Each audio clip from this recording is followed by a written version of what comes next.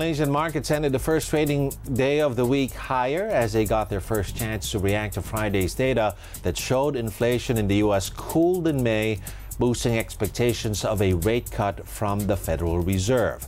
Gains, however, were kept in check by factory activity data in the region. In Japan, manufacturing output slightly fell as a weak yen boosted the price companies pay for fuel and raw material imports. Official figures from China over the weekend also showed manufacturing activity there slowed for a second month in June. As for the Philippines, PMI numbers fell to a three month low. The data weighing on the local bourse, with the main index falling a fifth of a percent. Gold is still moving uh, pretty much uh, sideways. I think uh, we're optimistic that uh, there is some near-term uptrend, but uh, uh, shall we say, it will probably be a creeping, you know, a situation where it creeps up. people anticipating maybe better numbers for the from the corporates.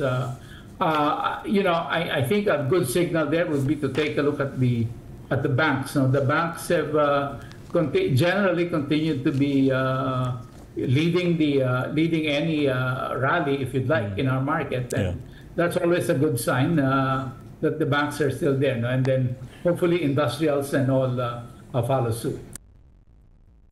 Are some local corporate headlines. Century Pacific Food is betting on the coconut industry this year, putting half of its 2024 capex of about 4 to 5 billion pesos to the expansion of its coconut business. It cites rising demand for coconut water in Western markets.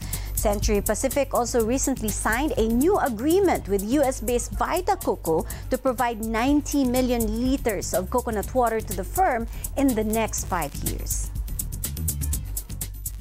We're also creating multipliers across the coconut supply chain.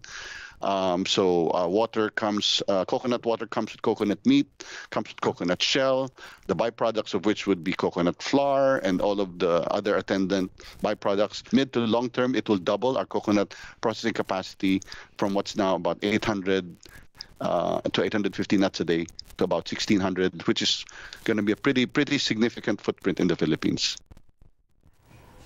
Meanwhile, Del Monte Pacific posts a net loss of $127 million for its full year 2024.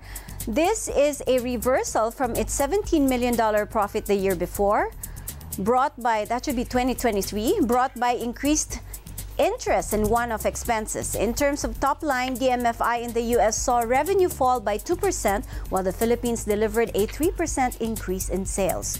On to Citicore Renewable Energy. It is forming a joint venture with San Miguel Global Light and Power for a 153 megawatt solar plant in Mariveles, Bataan.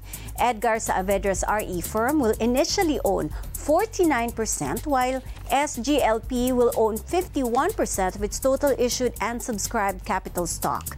Upon reaching the construction phase, CREC will subscribe to additional shares, resulting in a 50-50 split between the two firms.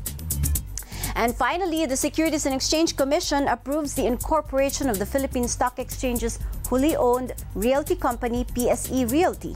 It will have a market cap of 1 billion pesos to own, hold for investment, develop, and or maintain, among others, real property of all kinds.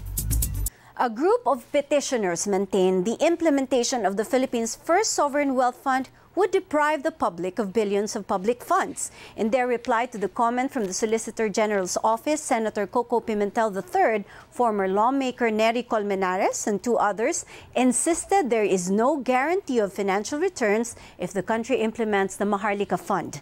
The petitioners first sought a temporary restraining order against the act in September 2023, but the office of the Solicitor General told the High Court the petitioners failed to clearly demonstrate how the passage of the law would damage the public.